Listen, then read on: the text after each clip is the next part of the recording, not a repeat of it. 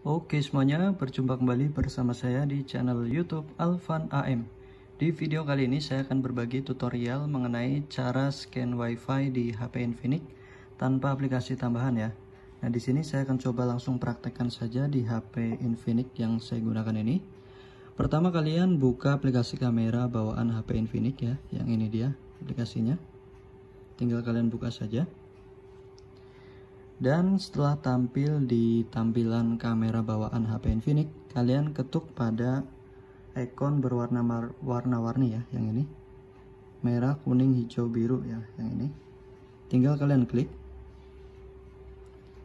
Nah selanjutnya akan tampil seperti ini nih. Dia akan di tampilan Google Lens ya.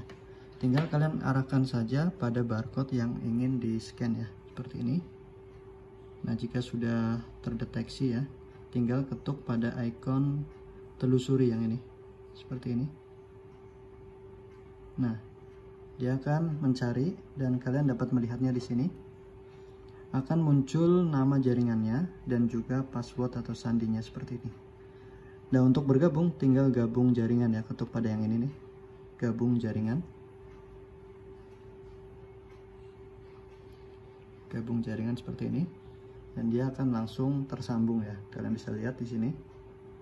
Nah, jadi sangat mudah sekali untuk dapat terhubung dengan cara scan barcode wifi ya. Oke itulah tutorial yang bisa kami sampaikan pada video kali ini. Semoga bermanfaat. Dan terima kasih sudah menonton video ini